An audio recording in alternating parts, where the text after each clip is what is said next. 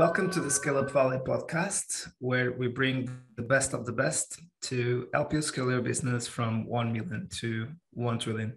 Today's guest is Alvin, CEO at Haulio. Uh, Alvin, welcome to the show. A pleasure to have you here. Thank you so much for having me, guys. Uh, and yeah, let's get to know more uh, about you. This episode is part of the special season, uh, the Asian edition that covers uh, entrepreneurs from the Southeast Asia uh, region, and really sure. loving to do sure. this as one of our co-founders is also based in in Malaysia. And uh, but but just to give context for the ones who, who are listening to the episode for the first time. Um, yeah, let us know more about about about you, Alvin. Uh, you have an amazing yeah. story, and and about your vision with uh, with Haulio. Sure, thank you so much. Like I probably would just introduce myself and my company. So hi guys, uh, you know, really pleasure to be here with Scale Up Valley. Uh, my name is Alvin E. I'm co-founder and CEO of uh, Haulio. Uh, you know, the interesting thing about my story is that I'm actually uh, when I was just 25 years old, I started my own trucking business. Uh, you know, why would a random guy start a trucking business? Essentially, because uh, my father is in logistics for over 30 years. So I'm kind of like a second generation business owner. Uh, that my family business does logistics. Um, it's quite in my family DNA, fortunately or unfortunately. Sometimes I ask my dad, you know, why don't you do something sexier, like, you know, in banking or insurance, you know? yeah, because I actually studied finance. Uh, but I, well, basically, because I think, you know, for the listeners out here, um, in, in Southeast Asia or in Asia or in Chinese, you know, it's quite a thing for filial, you know, filial piety. I'm the eldest son uh, of three sons two younger brothers and i you know i kind of like saw my father i grew up seeing my father you know working so hard building a business that he was just a he used to be a truck driver and today he's a boss of you know 100 over trucks right? And, and i think it's quite impressive. He has a warehouse you know it, it's, it's a it's, it's quite a good you know business i guess. And I, I i just as the eldest son i just thought that you know i was actually looking for a job so the funny thing, guys, is that he gave he actually lied me into into joining the business because I was actually looking back then 10 years ago, you know, you know, investment banking and all is kind of like the cool thing, right? I see all my smartest friends joining the IBs, you know, in the financial world. I, I graduated in in Australia actually with a finance uh, degree. So I did an internship uh, as an auditor in KPMG. Uh, but I know for sure I don't want to be an auditor. So I couldn't find a job and I, I basically went back to help my father. Uh, and he said that you know you just you know come back and work here first you know and then you can find a job after or something like that. That was the biggest lie he told me man guys.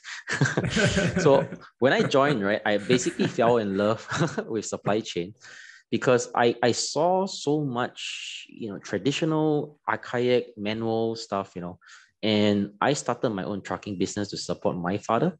And uh, he was my first customer actually. So I decided to do something a little bit different. So Haulio, that, that, and the story essentially is how led to Haulio's formation is that I, I uh, you know, container haulage for the uh, for those guys who are listening here. If you guys have seen the, the movie Transformers, right, you know there's this thing called the Optimus Prime. right? So the primer is, is this is this is this really cool truck, right? That goes into the ports and pick up the containers, right, from the ports and deliver those containers to the warehouses for unloading. So, you know, for the commoners, right, we're kind of like the inter rim between you know ocean and land, right? Ninety percent of mm-hmm. global trade, guys, is actually on on on ships, right? Containerization only started in the 1950s and that really transformed global trade. So global trade today is a 9.7 trillion US dollars industry and growing you know, tremendously. Supply chain is basically anything that moves, but 90% of them are actually moved on a ship. And these are usually moved in containers. So there are millions of containers that are you know, transacting and, and moving around the world as we speak. Right. So this is the space that we are in. So Haulio stands for haulage in overdrive. Right. So haulage mm-hmm. is essentially the movement of containers from port to warehouse and to the depots. So if, if you guys buy things online, right, you know, you can see this, uh, basically we replace parcels with containers, right? The, the, the parcel essentially is just a, an item, a packaging that puts the things in the package, right? And the container is a, is a huge form of that that has a lot of these raw materials and finished mm-hmm. goods that are actually, if you look around you guys today, if you are listening, right? I can dare to get tell you that a lot of things that you see around you have been in the container before. So it is a, it's a massive industry and it's hidden, right? So, well, essentially, I grew my trucking business from one truck to 15 trucks for the first three years of my business. And in my fifth year of doing that, uh, I met my co-founder. Actually, the interesting story again for Haulio is that Haulio was actually founded by a non-industry guy, Sebastian. Sebastian is my co-founder, right? He came to me in 2017 January. Uh, I met him for the first time through a common friend. And when he pitched to me the idea of Uber for container trucks, you know, uh, which is essentially what Haulio stands for, right? The, the vision of that, I actually said no to him. I said that mm, I don't think it will work because I, I, I, I was very deep into the business, right? And I've been doing this for quite a while myself. I know there are huge problems there. And I asked myself, why did I tell him that it didn't work? Because I went back home, because we, we, we said goodbye, right? We parted ways. And I went home, and for two weeks, I can't really sleep well because I've been asking me this question What happens if this guy is right? Right? If he is right, actually, then I would think that there's this issue of existential crisis. Like I wouldn't exist anymore as a physical trucking company owner. And that's the reason why I resisted in the first place. And I and I and I asked myself, like, what happens if this were to succeed? And I and I, I said, instead of letting others disrupt myself, how about I disrupt myself? Exactly. So that was what we are all about. So Haulio, uh, you know, for one liner, you know, I think this is a global. We are we are Uber for container trucks. I think for lack of, I mean, for Southeast Asia, right? So we are Grab. I think if you guys know Grab, we are, we are Grab for container trucks, yeah. and the vision is to connect Southeast Asia to the world. We want to have all containers within Southeast Asia to be transacted on our platform, and so that any you know any of these customers who need to haul a container anytime, anywhere, you know, at the guaranteed fulfillment price, we are able to service them for that. So it's it's a basically the concept it's uh, you know in the past we need to own a lot of assets to run these trucks right we are basically trying to be a robin hood here aggregate all of these trucks physically onto our platform digitally we become the largest trucking operator in southeast asia so that's really what Haulio is about. And they are specific trucks, guys. I, I remind you guys once again, it's the prime movers, the Optimus Primes that you see. Love it amazing amazing story. Uh, i had the opportunity to read your uh, father's you. day article uh, you where so you explain a little bit uh, the story. So uh, it's, it's a great one. I really recommend. What was the outlet or the media channel where you have of course uh, people can was, go into your linkedin as well? Uh yeah you can you can check me out on linkedin as well. But it's actually a Tatler asia publication yeah. Uh, they invited me to, to speak about my relationship with my father. To be honest, guys, that article was beautifully written, but there are a lot of negative things that I had to say about my dad that I couldn't write because it's Father's Day. well, well then, and and I, I really love the the last part. I think it was on the post uh, or even in the article. yeah things that we are not we don't have the courage to say to our parents uh, to our fathers yeah, right so it's very true they're kind of very simple i love you but uh, yeah. that's something that we takes a lot enough. of courage to yeah, uh, yeah i mean it's a guy to guy thing right guys my family has five five people and like four guys and one woman, which is my mom. Like tough love, man, guys. We don't say like I love you, bro. You know, we don't do such things. Right? I love you, dad. exactly. It resonated uh, with me. And it was it was nice to yeah. to, to read it. And um, yeah, what, what is the gap be, uh, between where you are today with Haulio and where you want to be uh, in the future with uh, with Haulio? Yeah, good question. I think the, the gap essentially is always about timing, right? And uh, you know, for for two and a half years, you know, COVID hit us, and I, I felt that we couldn't do much. So Haulio essentially we are headquartered in Singapore. We're actually invested very thankfully, you know, very blessed to be invested by one of the largest port operators in the world in PSA. Uh, so PSA is obviously it used to stand yep. for Port of Port of Authority of Singapore, but they are now an international and global port uh, business. They have ports over China, you know, in America, in Europe, in Antwerp, you know, in Southeast Asia, in Thailand and Indonesia as well. So we wanted to expand our coverage ASAP, right? That was really what we were supposed to do. But I think COVID hit us, you know, we, we started our business really only in 2018, like for two years. I was traveling a lot. you know, trying to suss out the ground. I think this is kind of like quite a bit of a political business, right? You got to handle the ports, authorities. You know, it, it, it's a little bit mafia, right? If you use you use that word Italian mafia, right? Uh, if you step, if you do something wrong or you offend the wrong person before you even start in a new country, you are dead. So I think I was sort of sussing on the ground, trying to figure out how different haulage is like in different countries. Like to be honest, guys, like the process behind it is really straightforward just you just have the Optimus Prime, go to the port, pick up a container, you know, get out, send to the customer, and once it, they are you know done with the container, you return it to, to the depot, right? How complex is that? But I, I kind of realized that every single market, even within a certain certain country, they have different terminal systems.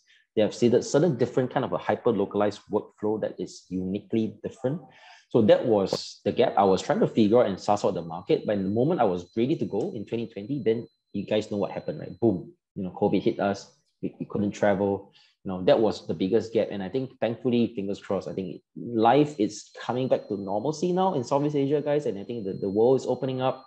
Um, I'm traveling almost. I think I think Mike was trying to get me for a while now, so I was thankful that I managed to get onto the show.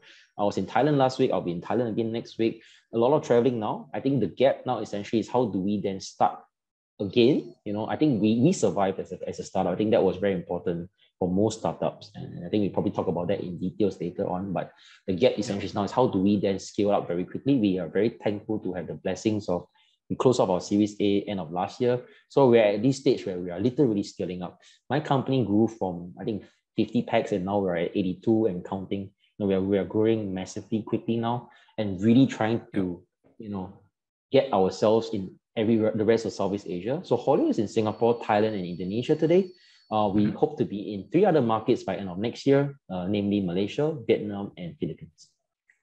Got it. It's it's almost uh, all all the markets uh, in the region. Yeah, that's the that's the plan. Yeah, that's why we are the Grab, right? So the the the, the idea is there. We want to make sure that we are hyper localized, and I think speed is of the essence today. Right, there are many trucking platforms are coming out. I think digitalization becomes well, the best thing, well, I mean, no, COVID was not good, right? But the best thing that came out of COVID was that it accelerated a lot of the need for digitalization, right? Simple things like, you know, my industry is really old school, man, guys. Like they don't know how to use computers, guys. Like when in the past, in 2019, if I were to meet a port operator in Thailand, you know what they tell me? Can you please fly in and meet me in office for one hour? And I flew all the way there, traveled all the way down two hours journey down to Laem Chabang, go to the port, meet them one hour, I had to go back. You know why? Because that's the way they do business. Right. Right. And now with COVID, actually, if it's just for one hour, I could actually so say that can we can yeah. we just do it over Zoom, please? Yes. you know, at, at least they know what Zoom, guys. Like they know Zoom, they know how to log on, they know how to do that. So I think little things like that you know, shaped a little bit in terms of way businesses are done. But of course, caveat, I think in Southeast Asia or in this part of the world, you can never take away the face to face. I think that's really important, you know, ingredient of success, and that's something that you know my myself and my team personally are flying out all over to sort of. And I think there's this rebound effect, guys. Like people love to see each other now. I think there's like this this this old feeling of like being together again. You know, the face to face interaction. yeah, I would love to see you in person, Mike. And, and I think, guys, Likewise. the interesting thing about in Zoom is that you never know how tall the person is. I was absolutely shocked when I see some people, and I've been speaking to them for two years over Zoom or, or Skype for them or, or, or, or, Teams for the matter. And I see them in person, like, dude, you look way taller than you're supposed to be. exactly. Great point and and that's great because with uh, Vietnam, Philippines, and Malaysia, of course, you already covered the largest market in Southeast Asia, um, Indonesia, but uh, but with Vietnam and Philippines, uh, those are also big, very big markets in the region. Uh, Malaysia, smaller one, uh, but uh, very developed. so, any considerations on the size of the markets and how difficult it is also to penetrate some of these markets, right? Guys, Southeast Asia is a tough nut to crack. Like I, I absolutely salute Grab and a lot of the other, you know, I think Ninja Van is one of the other ones that has really successfully kind of like cracked. Uh, I took a lot of inspiration from uh, Chang Wen and Ninja Van, right? Uh, is that they basically wanted to, you know, five years ago or four years ago, their their vision statement was very clear. They wanted to make sure that any parcel, any anytime, anywhere, in Southeast Asia, they can get it delivered. So for me, right, guys, sometimes you just don't, you just do what works, right? So I just replace the word parcel with containers and that is all, boom. so I want to be able to send oh, any container, any place, anywhere in Southeast Asia. So when that is in mind, uh, as part of the, the it's really about coverage right now. And I think you talk about markets, right? Well, the interesting thing that I think I, I've spoken with a lot of VCs before, and they in their heads, I mean, in a in a in a consumer world, of course, right? I mean, it's the largest market, right? 200 over million people, population size, blah blah blah. But if you think about it, right, actually from a port perspective, the number one market is actually in Thailand. They have the highest throughput, which is around mm-hmm. 11.5 million containers, right? When we say throughput, meaning to say that the ports are actually transacting, because Thailand is actually a massive exporter for cars a lot of automotive you know vehicles are actually built and assembled in Thailand itself. So whereas in Indonesia, actually their numbers is somewhere below the range of 9 million TEUs So contrary to popular belief, right? People are asking me like, why are you in Thailand first? I mean, obvious caveat is because PSA, our one of our most strategic investors, has terminals in Thailand and Indonesia. So we don't, well, I think people asking why a certain place, you know, why do you go these places? I think natural reaction to this is you don't go there for the sake of being there, right? You know, from a startup founder to another founder, it's like you got to know why you're there. And for us, it makes perfect sense because PSA has certain influence, right? It gives me some anchor positioning when I'm a random young boy coming into Thailand, right? But because you have PSA's backing, right? They have a terminal there for you to sort of do simple pilots, they have some level of influence, you know, they can get you to convince some truckers to come on board. So these are really important decision-making uh, thought framework that I have before I decide to launch into a market. And we do a lots and lots of pilots first before we say that I'm going to be there. Right? I think these are things that we, we got to evaluate as well. I think the vision is clear, but whether or not you want to be, I've been eyeing Indonesia since 2018. But I think, of course, there are a lot of trucking platforms out there that has raised significant more amount of money. So every step that I take, I had to be very cautious. In fact, guys, I only launched in Indonesia after COVID 2022, only this year, April, I was there because you know we, we found a, a good time as well i think a lot of the trucking platforms during covid they really struggled to because guys the reality is that when covid hit everybody your industry, the trucking industry, the supply chain folks, they have other more important things to do, right? Rather than try to test out uh, something new because this is exactly something new for them. So they have different priorities. And I think, well, it was timely that my investors actually told me to just, Alvin, just make sure you survive, please. Like the next, when COVID happened, just, just think about survival. So as, as founders as well, for me, I feel blessed because I think I have very strategic corporate investors on my cap table I mean, not to this, not to say about the rest that with, with, with VCs that have different priorities, you know, and things like that. But I think it was about survival and survival we did. Uh, it was two and a half difficult years, right, for most founders. And, and I think right now, at least, you know, we are coming back up. This is a good point. And and please, for the ones who don't understand very well the the space, so how does the business model work? Sure. Uh, what is kind of the value position for all yep, and yep. ship, shippers as yep, you have in your, your website? Sure. When I say Uber for trucks, right, or, or, or, Grab for the matter, right, most people will take us like a marketplace, right? So uh, I just need to explain that our fundamental business model is we are actually a digital trucking company, right? The concept essentially is we are, we are non-ownership, right? The operating model, so we are basically a digital main contractor that has many physical subcontractors that we aggregate on our platform. And we, well, guys, the ultimate thing is that last time in the previous generation, in the, in the 2.0 era, right, people own assets. Why do, why do I own trucks in the past? I own trucks so that I can get my drivers so that I have control. I can tell the drivers exactly where to go because I employ them under my payroll, right? So, guy, uh, driver number one, please go to this location and pick up this container and deliver it to this, this location by this time.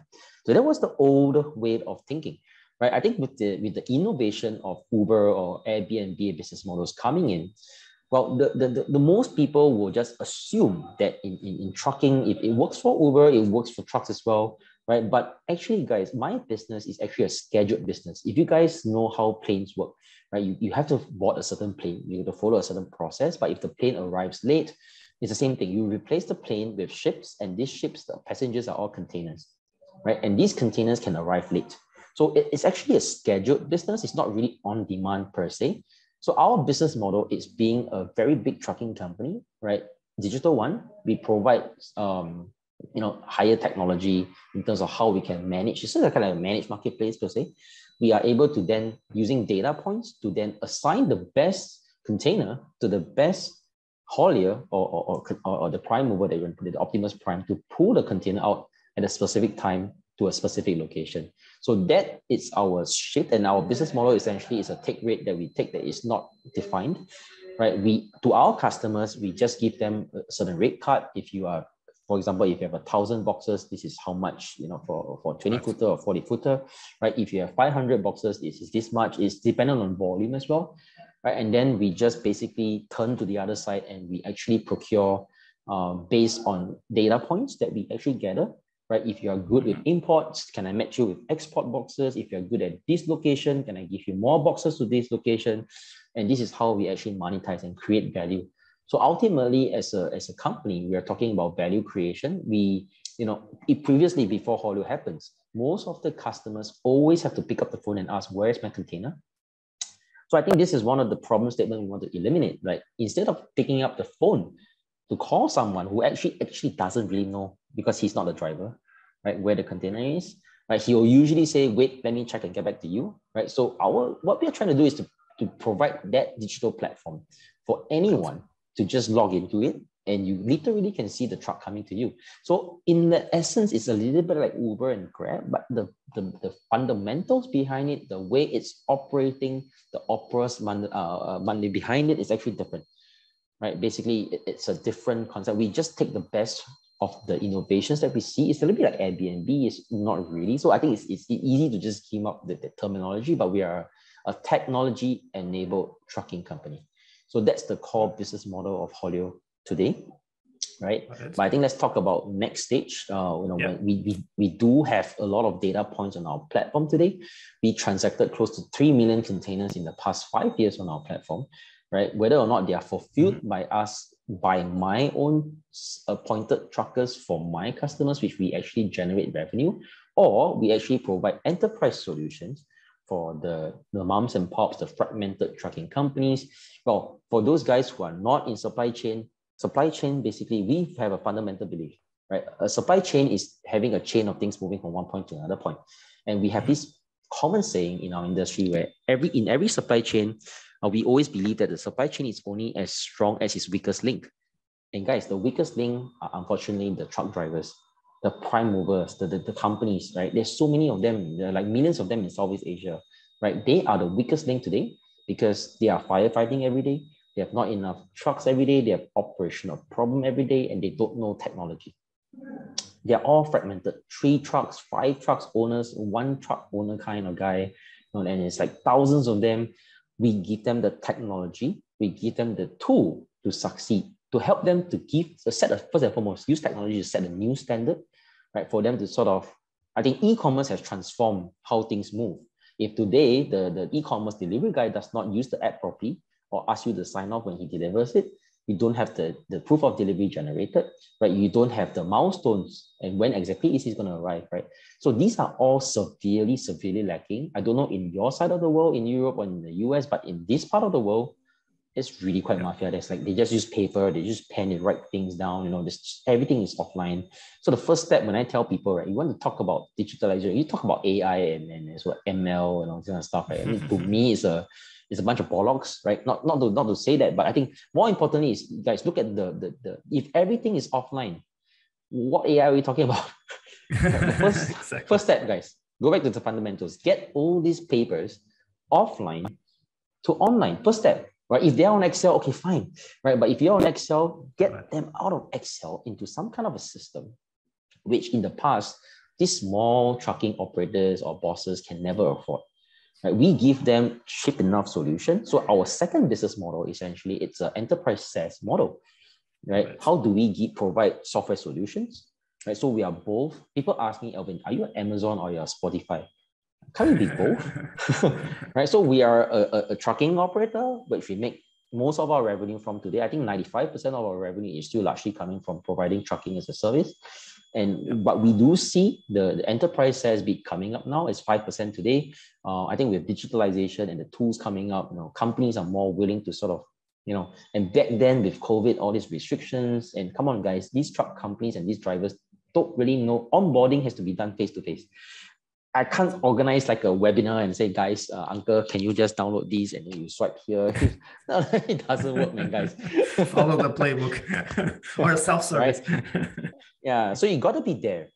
And I think you know we do what works for us, right? And we send young, you know, young folks going down, you know, teaching the uncles, ideally prettier ladies, you know, going down to the ground, right? You know, go to the port depots, you know, teach them how to use the application, and and these are things that we finally are able to do now. I think with, with the world sort of unlocking. And uh, yeah, this is what we do. So this is the second business model.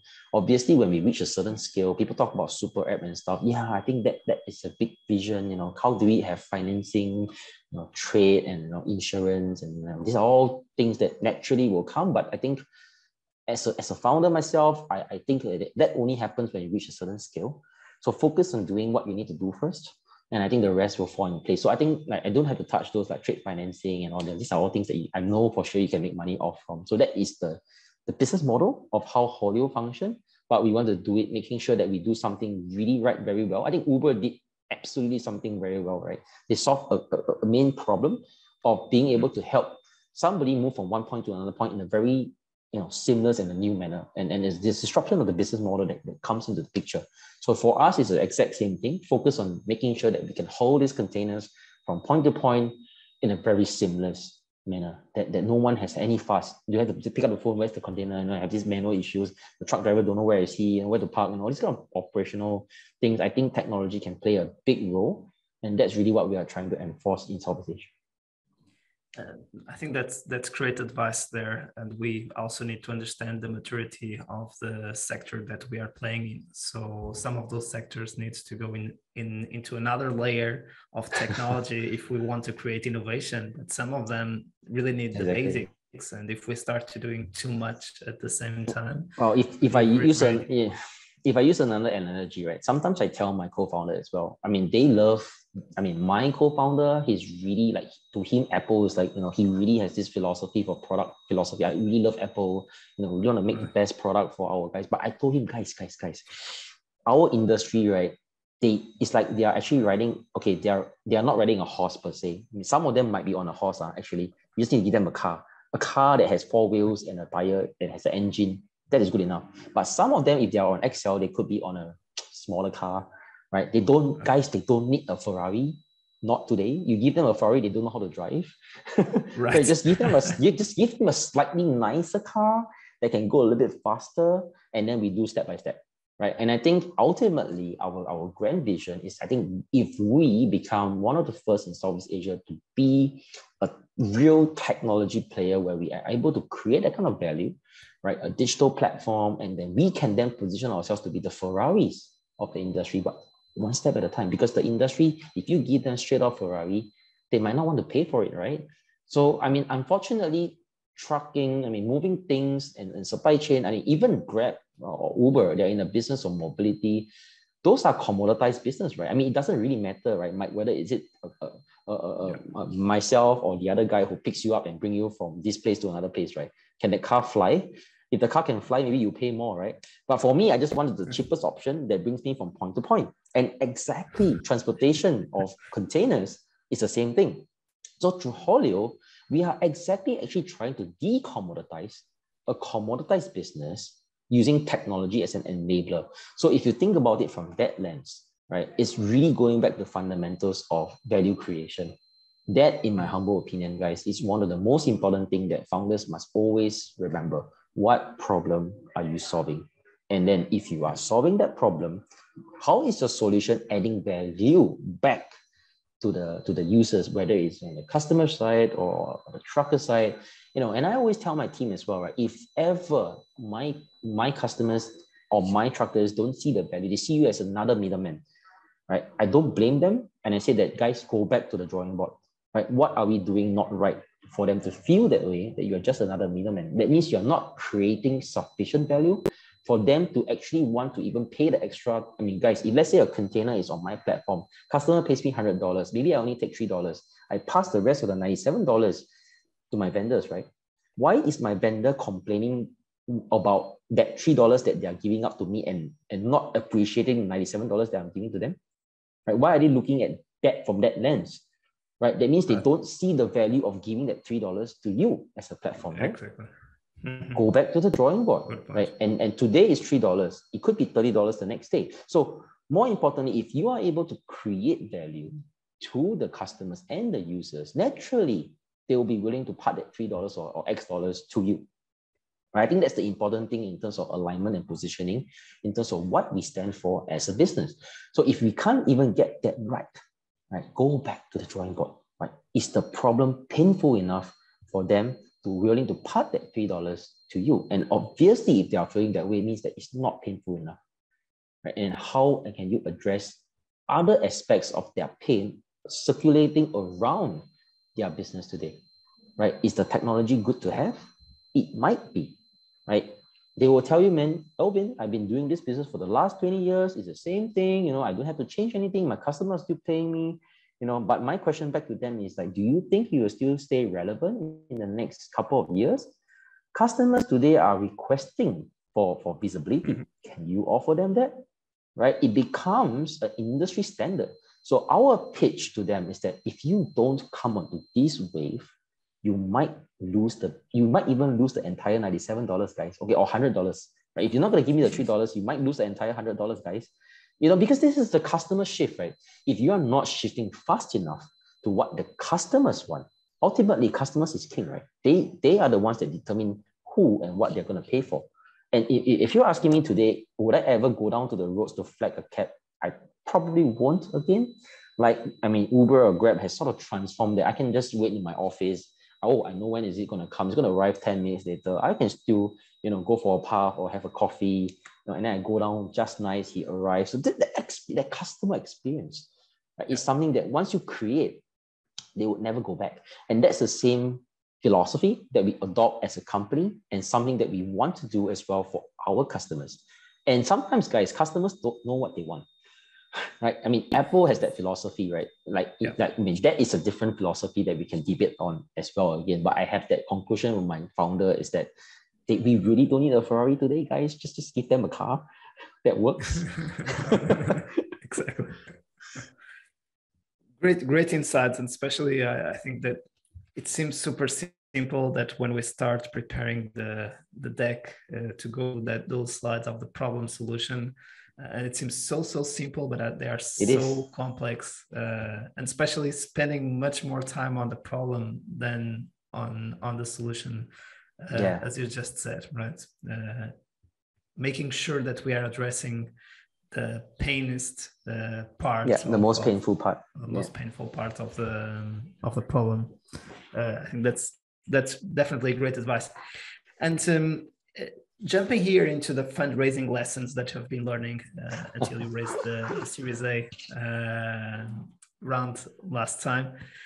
Of course, VCs also want to be an excitement side on in terms of tech to scale up the business and to deliver value to, to customers.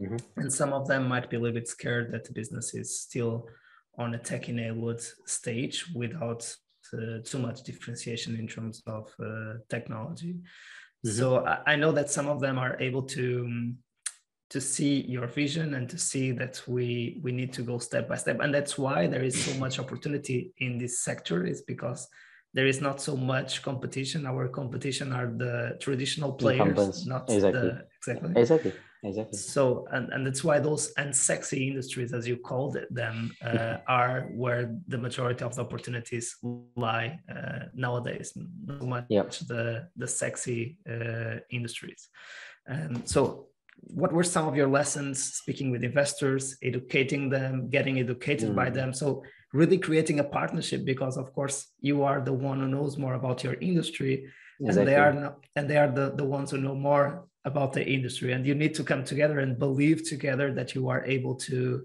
to solve yep. a big problem and create a big company by solving that problem.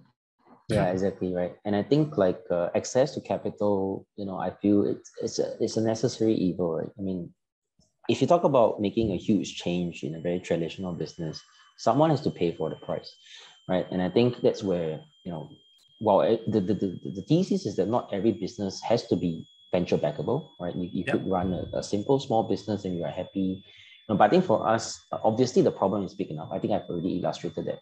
For for VCs that I've dealt with, one, one of the biggest pain points that I had was exactly what, what you have mentioned. I think education, right? In this part of the world, um, I mean, if, I mean it, it could be also, you know, I'm, I'm also learning. I think there's a lot of things that how do I how do I simplify my business without having to go too deep. A lot of things that I've shared today were, were through years of, of roughening and you know like a diamond is just sort of sharpening right. my, my my tools and, and how am I supposed to just be concise about the problem statement? What am I trying to do? Yeah. right, how big the problem is this? And I think it was difficult because uh, but the, the best thing that I felt happened was that uh, you know on a, a, lighter side on a lighter note was that two years ago there's this big ass ship that was stuck in Suez Canal. Yep. Remember the, the green ship? Yes. yep, and ever since then yeah people actually know what i'm doing. And i think uh, you know covid because because covid made shipping such a huge thing right? I mean the shipping lines were making massive amount of money right? And, and i think vcs go to where the money goes to i guess. So so shipping you know in a global trade became a huge topic. People are talking about increased freight rates. You're talking about inflation today. People understands the importance of global supply chain Yep. And like I said, like I said earlier, 90% of trade is on these ships. and how are these ships, the moment the containers arrive in the ports, what happens?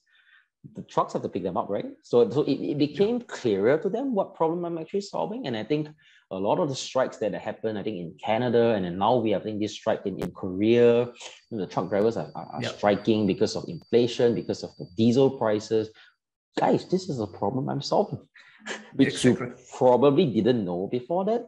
And I think now the, the, the, the basically the media puts it on the world stage and it's easier for me. But guys, when I first started in 2017, I actually had to buy a toy truck. I used a plasticine to make a container model and a, and a, and a, and a, a toy model. And I had to show the investors like, have you seen this before? So I was like running that toy uh, around and show them that, oh, wow. you see a container? I had to let them visualize it. And you know, the funny thing is that some of them might actually ask me this question, uh, does the container belong to the truck?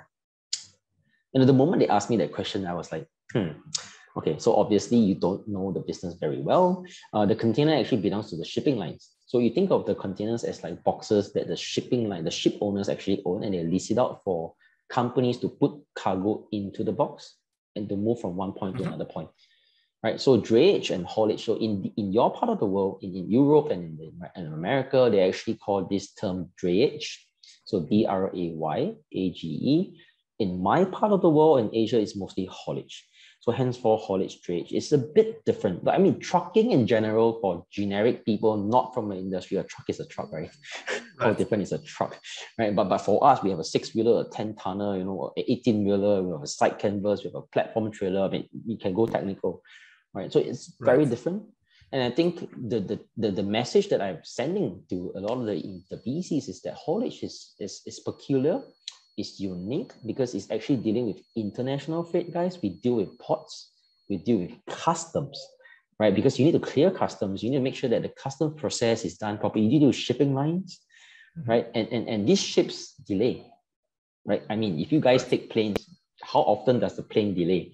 Not many, not much, right? But in, in, in this world, it's very common for vessels to be delayed for right. all the reasons, right? I mean, typhoon, last time was mostly typhoon, now it's Shanghai lockdown. Little, if you think about supply chain, right? So long as there's a choke point, everything yeah. becomes urgent. You know, at like because you're supposed to expect 10 containers to arrive, but the, the vessel yeah. delay, right? And everything ends up being a choke point, and everything becomes urgent, and everything downstream becomes massively chaotic, right? When when chaos happen, right, I see opportunity right? Where most people see chaos, right? I see opportunity to, to sort of orchestrate. How do we orchestrate this using technology? Right. And, and that has been my really biggest challenge of trying to explain this in a more easy way, right? In an easier way for people to understand. Yeah. I think I think I think now it's a lot easier. It makes sense because people understand shipping, they understand you know, globalization. They see the ship being stuck. They know a container now. You know, so I think that has helped me over the years. But I think, um, well, I think COVID has seen a lot of a rise in e-commerce and many of these uh, technology startups as well. Uh, I mean, Flexport. People know Flexport, right? Uh, yep. Flexport has done tremendously well you know, sometimes for lack of better word, I tell people we are like Flexport of Southeast Asia, you know, just to give them like, this is what we do. One line right. snippet, right? You know, so so we are kind of like that, but something different. But essentially, that's the vision. We, we really want to orchestrate global trade for Southeast Asia. And today, guys, we are actually entering from the seaports, but uh, we actually have plans for rail, for for intermodal, basically like an intermodal digital play because cross-border. If you look at ASEAN, right, 10 countries, a big block of them on the left, eight of them on the left side connecting mm-hmm. China down to Europe actually by rail. So containers is just the first aspect for Haulio. Right. We, I do have some VCs challenging me that, you know, yeah, Alvin, your containers is, is, is the 10 is kind of like small, you know, but you know, 100 million containers, yeah, could be small, right? 10 is really up to your own definition, right? Right. But the other right side of Southeast Asia is made up of Indonesia and Philippines, which are, interestingly, guys, lots of islands. When there's lots of islands, how do you get to the island? You need to use a ship, a small little sampan or mm. some little small barges to send containers. So the domestic shipping itself over there is massive right? So for us, so long as you want to move a container in Southeast Asia, you think of Haulio. So that's really what our ambition is. And I think it's what we are trying to illustrate, right? Honestly speaking, my fundraising journey, my cap table is made up of a lot more strategic investors than VCs, unfortunately, right? A shout out to the VCs now. If you're interested in this space, you know, institutional ones, because we actually want to find to balance, counterbalance. I have too many strategic. Like the funny thing is that most startups go through financial institutions before strategic comes in. Right. Mine is strategic first because I don't have to explain much to the owner of the shipping line. I don't have to explain too much to the, the right. freight forwarders. I don't have to explain much to the port operators because they, yeah. because they feel the problem every day, guys. Right. right. It's something that they can see. Right. But it's hard for me to explain. And, and, and I mean, don't get me wrong. I mean, a lot of VCs, fantastic VCs have passed on on us. And I don't blame them. It's simply because they can't, if you don't know the problem, you probably won't invest. Yeah. And I think right. I and, and we were obviously only in Singapore back then. So I think now we are proving our capabilities that we are able to do it outside of the Singapore market, in Thailand, yeah. in Indonesia. You know, we are expanding really quickly to the rest of them. We have a certain playbook that we have demonstrated that we are able to execute. I think now the rest is just seeing how we actually do it. Got it. That, that's great point. And how did you see your your deck evolving? Because we can see that you are always improving the way yeah. you define the problem, the, the way you articulate the problem, uh, the solution, the term you even talking about the term, the why now. You also talking a lot about that yep. slide during this conversation. Uh, of course, the go-to-market strategy uh, slide, what what markets to attack in what and what order, etc., etc. So we can see that we are always working on the same deck because people think that we just work on the deck and it's done. Uh, no, no, no, that's no, not never the case. Always, always, always, always improving the deck, right? Yeah, and, and, and I think like, the hmm, majority of the time, ahead. the deck is not even uh, the deck is a tool to articulate our story yes. and to be able. Uh, exactly. Don't be so hard up on the deck. I mean, I think the best founders can pitch without a deck, right? But the deck is there for them to visualize. I mean, I, I mean, I can. I'm kind of like pitching now, right? But I'm trying to articulate. Yeah. But if you have a deck for people to actually see and articulate, you know, visually, people are visual creatures, right? How do you then yeah. express through your deck the, the, the, narrative that you are basically trying to tell them. I think fundraising, there is a certain template. again for founders out there who have done it before, you know yeah. what they are looking out for. It's just storytelling, but a lot goes, a lot of the work happens after the deck. Right? What's the unit economics like? You know, I think for us now, from an A to a B company, you know, there are other things that they're looking out for. Yeah. You can't lump everything into the deck, right? So I think, you yeah. know, I mean, deck is a deck, right? I've seen beautiful decks right? I think yeah. really beautiful ones. And I think it depends on which stage of the company you're at. Like for the right. Series CD guys, they actually engage professionals to build the deck for them. Yeah. And so it's different, right? So I think I think as a, as a, yeah. as a founder, you gotta, you gotta understand that. I think like and every stage of the journey of a startup, or scale up for the matter, right? You have to yeah. deploy. It's not a one rule fit all kind of a thing. Fully, fully agreed. Uh, and it's it's really important, as you said, to use your Legos to to build the story and to make it easier for people to yeah. to understand.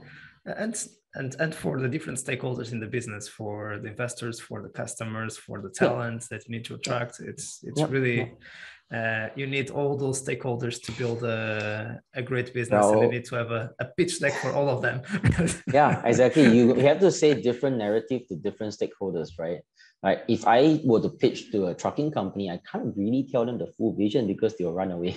they'll feel so scared that they run away, right? So, so I think for founders, right, we are always sort of selling ourselves. Like you know, every single day, I'm I'm storytelling to some degree. Whether is it to this stakeholder, if it's internal, it's also you know setting up the culture. How do you you know how do you make them want to be a part of this mission? You know, guys, we as founders, guys, we only have a dream that's all we have. Right? We have a vision, we have a dream, and then you have people here wanting to build a dream together with you, right? And then, like, you know, I always tell people, right, that is my biggest motivation because we really just have a dream. And we can, we our success is really determined by our stakeholders. I'm very blessed to have investors who have trusted me with their money, you know, and, and more importantly, it's my people, right? And these are things that keeps me going every single day. Love it. Uh, and it's incredible how time uh, flies. Uh, and I still have the last segment that we didn't discuss uh, recruiting no and culture and so many things and, to talk about. So many things, but, but, it's it's really impossible. And I'm getting, uh, I'm, I'm, I'm understanding show after show that we really need to focus in in, in certain topics because it's impossible. I can always come back, Mike. I exactly. can always come back. Yeah, exactly. no problem. Let, anytime, let's anytime. let's do a second. yeah. Okay. Episode. Happy to do that. Sure. But uh, but before, let, let me also go through the um, the format that we run at the end of the show, which is a quick uh, question and a quick answer. Okay. So let's try to be okay. brief. Yeah, let's on, do that. Okay, I will that. do that. So, yeah. so uh, if you would have the opportunity to have a coffee uh, or a tea with yourself at the beginning of all you, what advice would you offer to your younger self? Uh, stay true to yourself. Right. I think there are a lot of times where you can get I mean, the media hype and all, you know, the media like to hype a lot of founders. Just stay true to yourself. Always remember to stay humble and, and, and be true to yourself. Great one. What are you the most proud of uh, during your journey um, so far? My stakeholders. I think having them to be a part of this journey, believing in this. I mean, just two, myself and my co-founders, just two young boys try to have a dream and I think we have now progressed a lot further than making it a dream. And I think that's really one of my proudest things, like having a chance to sort of try to transform this industry is one of my proudest things that I've done. Worst advice ever received? Take my money. Good one. And and now resources. What what is your favorite book? Oh, I, I, I, I read a lot of, um, you know, in Chinese we call Sun Tzu Bing Fa. It's uh, Sun Tzu uh, War, yep. Art of War. I think I, I really appreciate that. Um, it's the art of doing doing business, like like trying to understand business ethics, like how do people think, like how do you actually work with people. At the end of the day, I think any sort of business is really about the people, right? I think that's really the the the, the, the way I, I see it. And that's the, something that I've been reading a lot recently. Love it. Favorite movie or series, uh, as you wish? Uh, I'm a big Marvel fan, so I, I guess the recent one was the the Doctor Strange. It's really nice. I've not watched Top Gun, by the way. I think that I heard so much good review about uh, you know Tom Cruise. Big fan of him as well. and and finally, your favorite podcast, excluding this one. um, honestly speaking, I don't listen to that many podcasts. Uh, yeah, I don't really listen to that many yeah. podcasts. So I'm new to this, and I think that I've, I think uh, you know recently I've been trying to listen to more when I'm on the planes because I've been traveling a lot as well. So I download them and I listen. Uh, mostly yeah, on uh, men- men- mental health, guys. I think it's really on. I've been reading about more on like how do I be better mental health. Love it. Um, yeah, as a founder, I think it's, it's really important to have that emotional support, like like I'm I'm thankful. I have a family. I have a I have a, I have a lovely wife who really has been there you know, for me true and true. like you really need somebody to be your sounding board. I think mental mental wellness. I've been I can't remember the name of the podcast, but I've been listening to some of those just to you know, because of that, that, that zen, you know, we have like founders, we have like thousands and one things to do every single day. How do you remain zen and, and, and tell yourself that, you know, you know, you can always be a better version of yourself. It's okay to make mistakes, you know, just live with it, move on, just be a better version of yourself every day. Don't compare yourself with someone else, you know, just, just remain focused. But these are things that I, I uh, try to keep myself mentally sound sometimes. very very good sentences i was even writing them down as, as you were thank you as you were thank speaking you. Uh, very good sentences on and it helps sometimes to just have those sentences in front of me in front of us in in the phone or whatever it is yeah keeps you them. constantly reminded and grounded i think that's really important surround yourself with people who you know will remain true to yourself. I mean, like there will be many different people that you see that might lead you astray, that might make you think otherwise. But always ask yourself, why are you doing this? And then, you know, just stay true to yourself. Don't don't change because other people want you to change. If you ever want to change, change because you want to change. Right. Great point. Alvin, I really appreciated you uh, sharing yeah, your experience nice. with us. No Thanks so much for, Round two next time. time. exactly. You are yeah, more no than problem. invited to, to come yeah, for I'll be back. I'll two. be back. Yeah. Thanks a lot. we Mike. also have this this topic. Thank you, Alvin. And to our community, we keep bringing you the best of the best. And of course, it's promised that also uh, round two with Alvin soon. Thank you so much. See and keep scaling.